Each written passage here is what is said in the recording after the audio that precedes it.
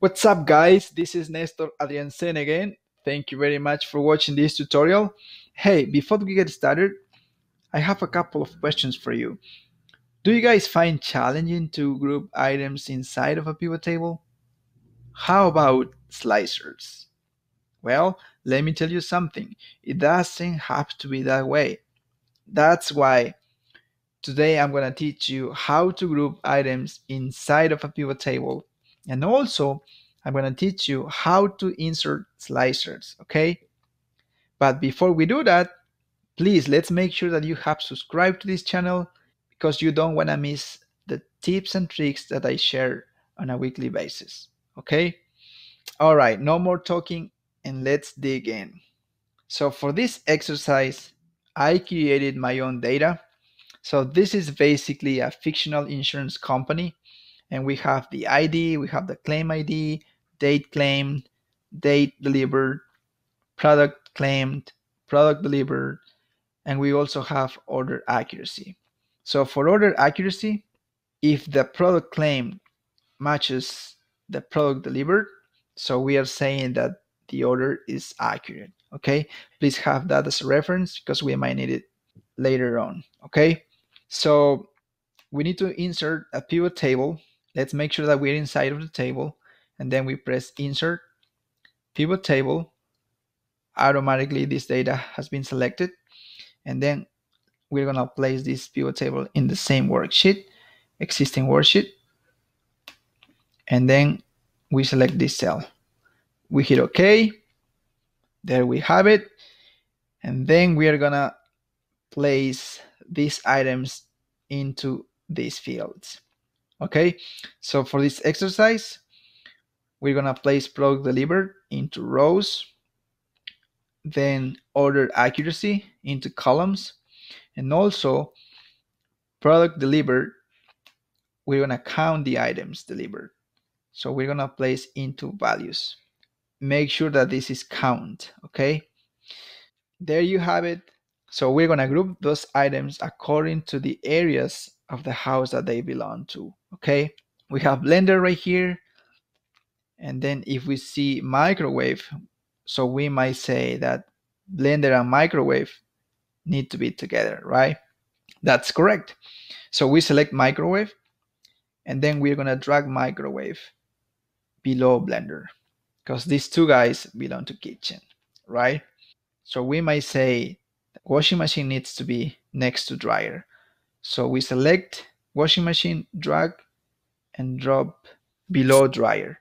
Okay. What else? We have ink right here. We definitely know that printer needs to be below ink. And then these two guys belong to office. Okay. PlayStation and TV. These two guys are already next to each other and they belong to living room. Okay. So now let's group these two guys. Let's select the items, right click, and we pick group, and then we change the name right here, and we call this kitchen. Okay. All right. For the next two items right here, same thing, select two items, right click, group, change name right here, we change for laundry. Okay. All right, for and printer, same thing, select the two items, right click, group, change the name right here, and we call this office, okay? For PlayStation and TV, same thing, right click, and then we change the name right here. We call this living room, okay? There you have it. Now we are done with the first tip, okay? So we know that these items are grouped. We can click the minus sign right here. And then we know that those items are grouped.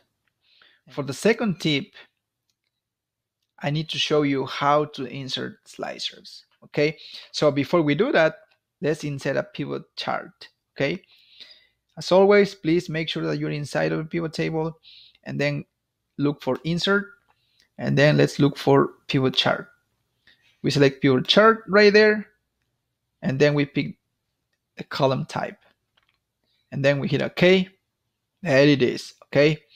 And right here, let's close this because we don't need that, okay?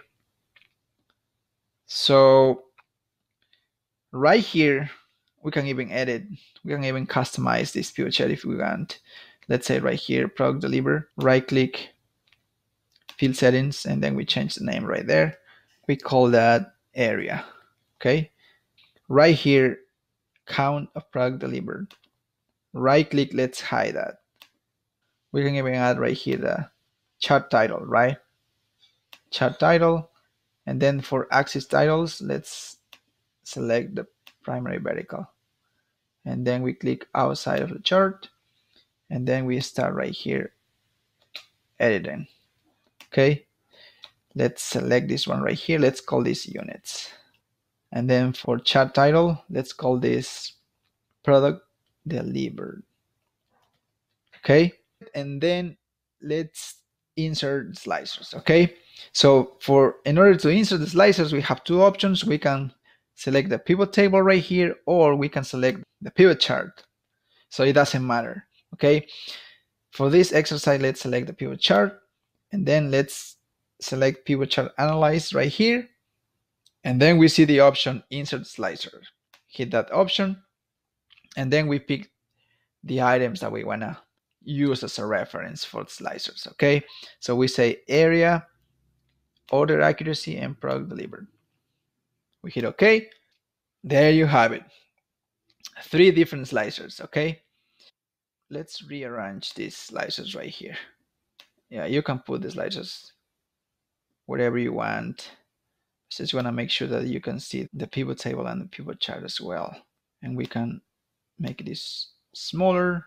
Same thing for the area. That looks better, right? Let's make this smaller.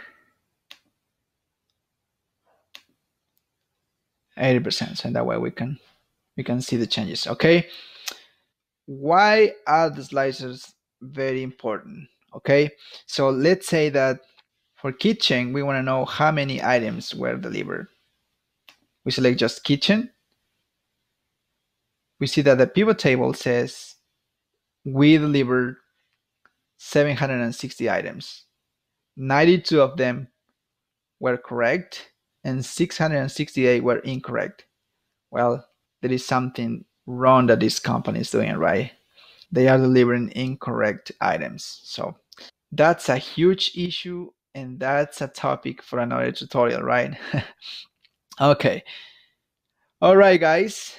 There you have it. That's it. Thank you very much for being part of this tutorial again. And as always, if you like this video, please give me a thumbs up share it with your friends, and don't forget to subscribe. Okay? Thank you very much and have a good day.